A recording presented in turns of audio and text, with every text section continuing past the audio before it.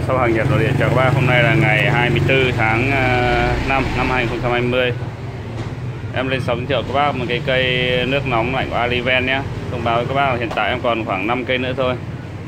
Nếu bác nào nhu cầu lấy thì các bác lấy sớm ạ. Hiện tại em đang bán với cái giá là 3 triệu 6 và bao ship toàn quốc cho các bác. Cây nóng lạnh Aliven này thì nó cao 1 mét. Đấy, rộng đường kính khoảng ờ, 30 phân. Toàn bộ thân vỏ bằng inox hết hàng ờ, mới ở bên ờ, Nhật chưa qua sử dụng. Công ty họ phá sản nên ờ, hàng tồn kho thanh lý nốt cho ờ, ra bên ngoài cho anh em nhập về bán. Đấy, hàng về cây thì chưa qua người Việt Nam sử dụng đâu ạ nhưng mà tất cả các cây đều về đều phải test qua đổ nước và lấy test thôi nhé còn hàng là chưa qua sử dụng. Đấy. hiện tại cái cây này nó đang tuyệt tiệt chủng rồi chỉ còn một vài cây thôi. À, sử dụng điện lưới 100V các bác nhé điện lưới 100V này các bác lưu ý. Cây rất tiện, nó làm lạnh bằng lốc mà. Đây độ nó nóng, nó có thể lên đến 90 độ C, lạnh xuống 7 độ C các này. Có thể tắt nóng, tắt lạnh được nhá.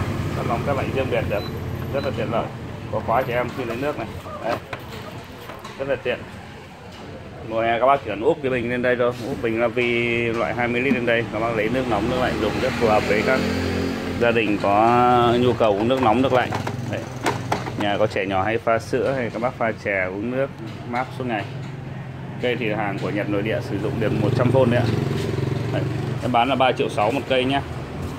Các bác nào có nhu cầu mua các bác liên hệ sớm nhé đây là toàn bộ dàn nóng của nó này. Đây.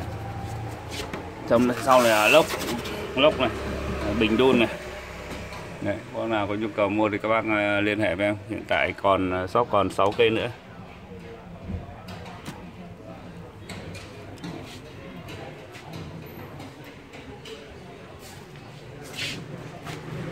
Cảm ơn các bác nhé.